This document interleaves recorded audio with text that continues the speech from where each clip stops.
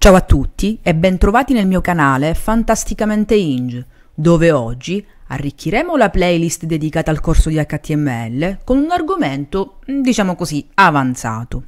Infatti parleremo di form, o in italiano mm, meglio conosciuto come modulo.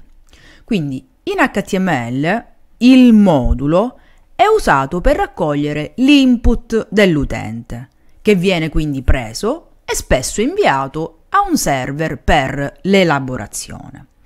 Per intenderci, molti di voi l'hanno già usato, altri no, un form è quello che trovate quando atterrate nell'home page del mio sito www.fantasticamenteinge.com che io ovviamente utilizzo per raccogliere le vostre richieste di consulenza, di chiarimenti, ma anche perché no le vostre richieste del vademecum con gli esercizi.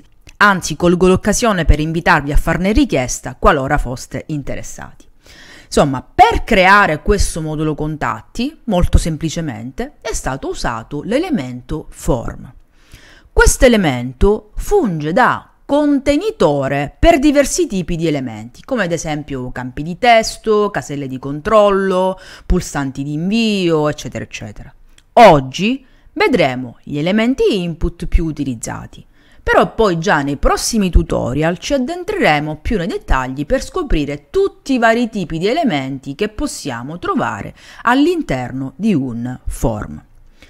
Partiamo dall'elemento più utilizzato, ovvero l'elemento input.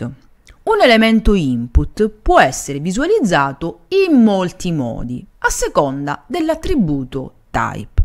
E qui ho riportato alcuni esempi. Quindi, se nell'attributo type scriviamo text, allora verrà mostrato un campo di immissione testo a riga singola che, salvo diverse indicazioni, avrà lunghezza predefinita di 20 caratteri. Se invece scriviamo radio, verrà mostrato un pulsante di opzione che permette di selezionare una fra le scelte proposte. Con checkbox invece avremo delle caselle di controllo che ci permettono di selezionare più opzioni tra quelle proposte. Poi, specificando Submit, verrà visualizzato un pulsante di invio che serve spesso per inviare eh, il modulo stesso. E mettendo Button nell'attributo Type, invece, eh, verrà visualizzato un generico pulsante cliccabile. Bene, questi sono solamente 5 tipi di input, ma in uno dei prossimi tutorial vedremo sicuramente tutti gli altri. Beh, intanto giusto per capire come funzionano, andiamo avanti. E andiamo avanti col primo tipo di input, che è quello più diffuso nei vari moduli che incontriamo sul web. Se ad esempio immaginiamo un modulo per la spedizione di un determinato articolo, sicuramente ci chiederanno di mettere nome, cognome, indirizzo e quant'altro. Ora, l'input che serve in questi casi è di tipo text. Questo tipo di input serve per definire, come abbiamo detto prima, un campo di immissione a riga singola. Ora, come si vede da questo esempio, inserendo tra le parentesi angolari la scritta input type uguale e poi tra virgolette la scritta text, lasciate perdere per il momento tutti gli altri elementi e attributi, concentriamoci per ora solamente sul tipo di input, ciò che vedremo come risultato sarà un campo di testo. Poi tra qualche minuto andremo sicuramente a fare degli esempi pratici che chiariranno il tutto. Intanto andiamo avanti. E andiamo avanti col secondo tipo di input fra più diffusi, ovvero radio. Quindi, se specifichiamo type uguale radio, vedremo un pulsante di opzione che ha la forma di un cerchietto vuoto. Questo tipo di input, attenzione, consente di selezionare solo una tra le opzioni proposte, a differenza invece delle checkbox. Le checkbox sono caselle di controllo definite da type uguale checkbox. Questi tipi di input, a differenza di quelli di tipo radio, consentono a un utente di selezionare più opzioni tra quelle proposte. Perciò quando vogliamo che la risposta sia una, andremo a inserire un input di tipo radio. Se invece vogliamo consentire una scelta multipla, allora andremo a inserire un input di tipo checkbox. Poi, per inviare i dati andremo a mettere un input di tipo submit. Questo tipo di input definisce un pulsante che serve per inviare i dati a un gestore del modulo che è in genere un file sul server con uno script che serve per l'elaborazione dei dati in input. Il gestore del modulo andrà specificato qui nell'attributo action del form.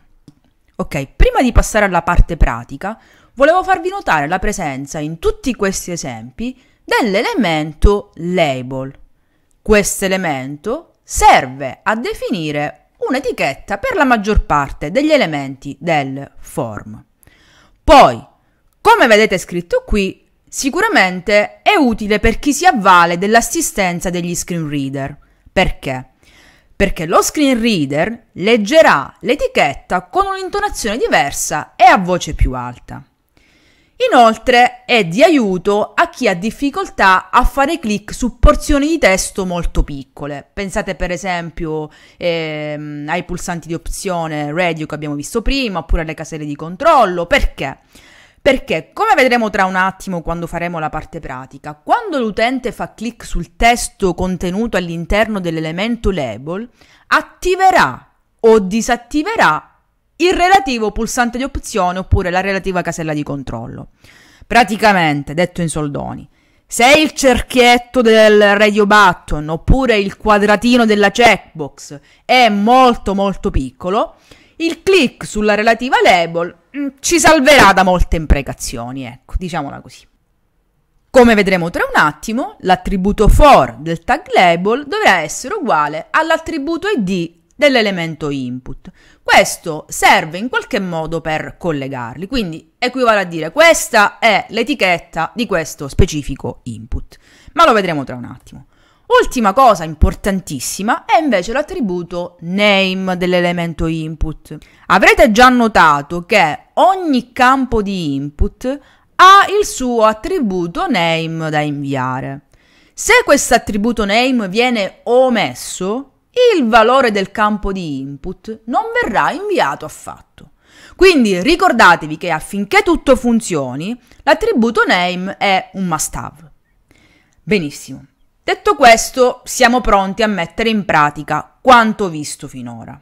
Quindi andiamo alla nostra solita pagina di base e cominciamo testando l'input di tipo text.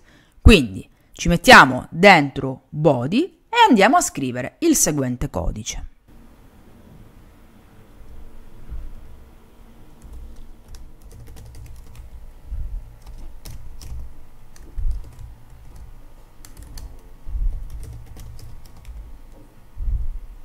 Perfetto. Allora, se noi andiamo a salvare e ricaricare la pagina, otteniamo questi due campi di testo. Questi due campi di testo avranno larghezza di 20 caratteri e avranno due label, una con la scritta nome e l'altra con la scritta cognome, esattamente come ci aspettavamo. Benissimo, andiamo avanti e andiamo a testare i radio button. Beh, eh, un uso molto tipico è la scelta del eh, genere maschile e femminile. Ma siccome noi vogliamo essere inclusivi, aggiungiamo anche una terza voce, come giusto che sia, per i non binary. Quindi, posizionati qui, andiamo a scrivere un altro H2 con la scritta input di tipo radio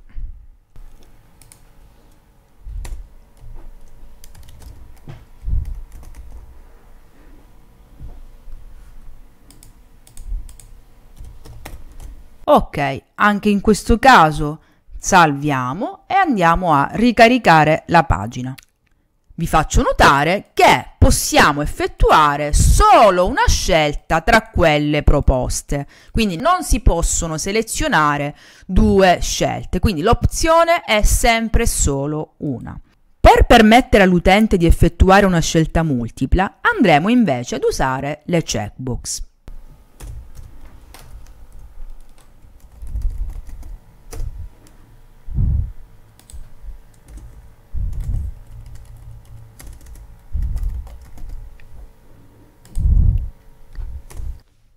Ok, dovremmo esserci. Quindi salviamo, ricarichiamo la pagina e come vedete stavolta è possibile selezionare più opzioni tra quelle proposte. Quindi se io ho un cane e un pesce posso permettermi di effettuare la selezione multipla. Ah, un'altra cosa, vi faccio notare, come dicevo prima, se per qualche motivo eh, avessi difficoltà a centrare o il cerchietto oppure il quadratino, un clic sulla relativa etichetta andrà ad attivare oppure disattivare l'opzione. Questo vale sia nel caso delle checkbox sia anche nel caso dei radio button. Perfetto. Beh, a questo punto, in tutto questo, manca ovviamente un pulsante che permetta di inviare i nostri input. Quindi, se ad esempio, prima di chiudere quest'ultimo form, eh, vado ad aggiungere qui un input di questo tipo e con value mm, scriviamo sopra invia quindi salviamo ricarichiamo la pagina. Come vedete otterremo un pulsante con la scritta invia beh che ovviamente non farà nulla per il momento. Perché? Perché dovremmo inserire il nostro famoso gestore del form. E, come vi ho detto prima, lo si fa attraverso l'attributo action del form.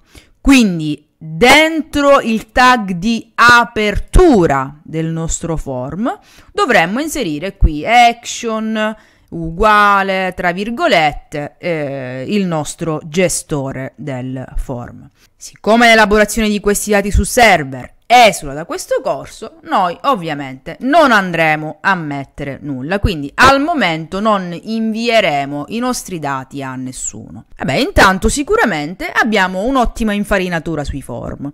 Abbiamo capito cosa sono, abbiamo capito come si costruiscono e poi nei prossimi tutorial andremo ad approfondire altri aspetti. Quindi se questo video vi è piaciuto lasciate un like o un commento e per non perdervi i prossimi iscrivetevi al canale. Ciao!